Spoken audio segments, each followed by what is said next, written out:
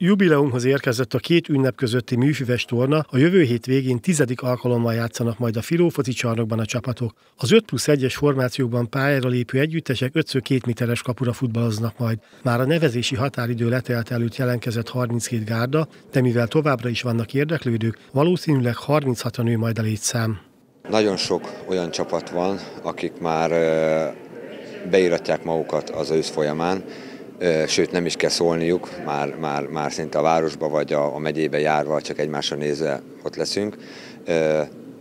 Azt tudom mondani, hogy több megyéből, Miskolcról, Budapestről jönnek idén is csapatok, és azt tudom mondani, hogy mi öregszünk lehet, de a torna fiatalodik. Nagyon sok fiatal adta le nevezését, úgy baráti társaságok, úgy összeszokott akár, akár ifi csapatok, illetve Nyíregyházi és más akadémiákon nevelkedett fiatal játékosok is, hiszen két ünnep között hazajönnek Nyíregyházára, Szabolcsba, vagy a barátok, akik ide valósiak, lehívják őket, és akkor a barátság ápolásán túl még fociznak is egy jót. Ahogy az elmúlt években idén is több korábbi élvonalbeli futbalista is ott lesz majd a pályán.